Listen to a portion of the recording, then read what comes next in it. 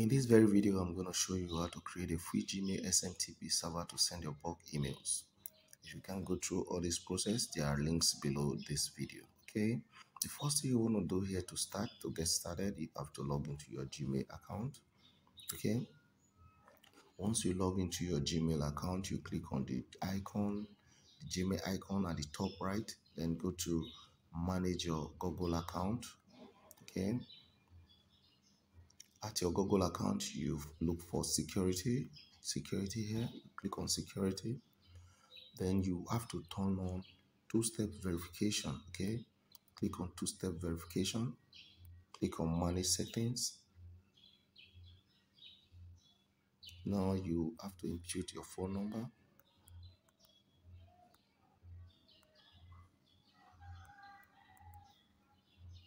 To get an OTP okay click next.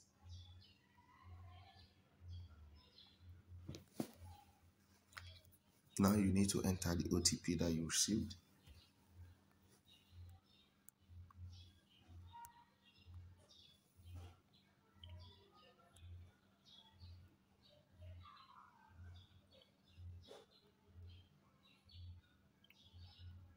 Click on next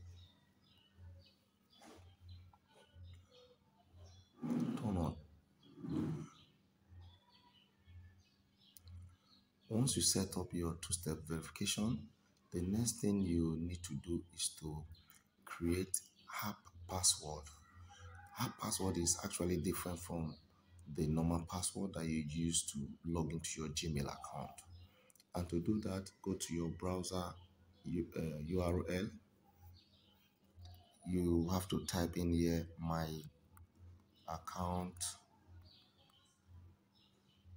dot google google.com forward slash app password.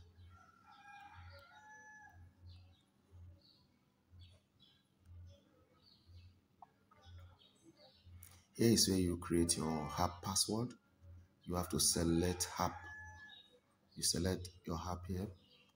Then you click on order custom name to create your own custom name.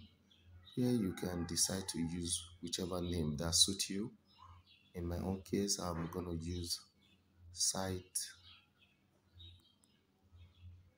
systems.